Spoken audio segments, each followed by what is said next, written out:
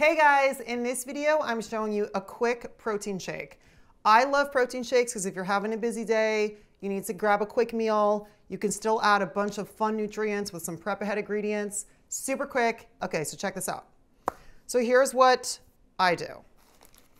I've shown you guys some shakes I do before, so this is the one I'm currently doing. Frozen blueberries. If you guys get blueberries, and they're starting to kind of go a little bad, just pick out the good ones and freeze them. And they're perfect for something like this. Bananas, my kids love bananas, but sometimes they start to over ripen.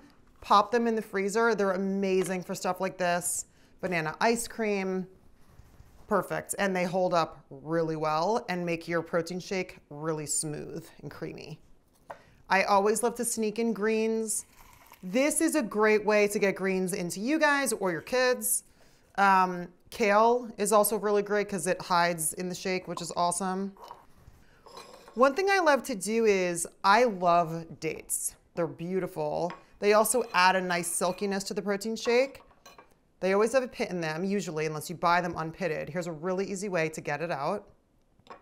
Very carefully, take a knife, cut a slit along the top, and then just peel it open and just pull out the little pit. So super easy. And then just toss it in your blender. So for this one, I'm gonna do my organic. I always like using bone broth protein shake because you guys know I love bone broth. I'm a huge proponent of bone broth for the collagen and the cartilage and all the like feeds like stuff in it. So in this shake, I'm gonna do vanilla. So this is some vanilla bone broth powder. My last shake I showed you guys, I used chocolate. I also love adding peanut butter. Again, it makes it super creamy and adds some beautiful fats that are really good. And I also love the taste of peanut butter, so. Okay, now what we're gonna do is little squeeze of honey. I'm gonna use almond milk in this. You can use any kind of nut milks you guys want. I don't usually use regular cow milk in my shakes. I always use some kind of nut milk. But whatever you guys want, oat milk, nut milk, regular milk, whatever. Almond milk. I'm gonna add a little bit of ice.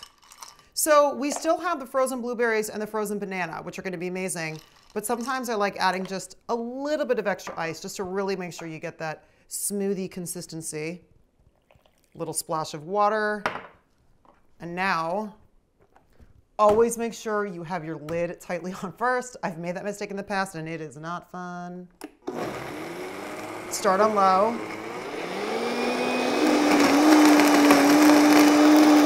Oh, that's gonna be so good.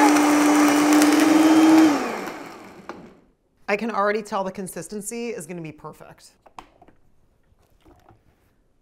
It smells amazing. Whoa, you guys.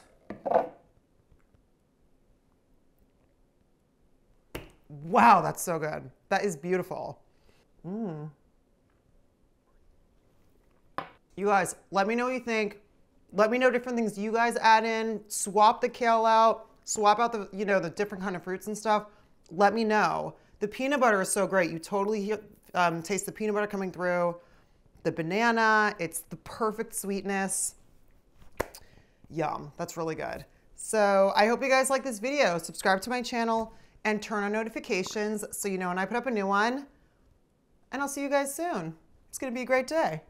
Wishing us all a great day.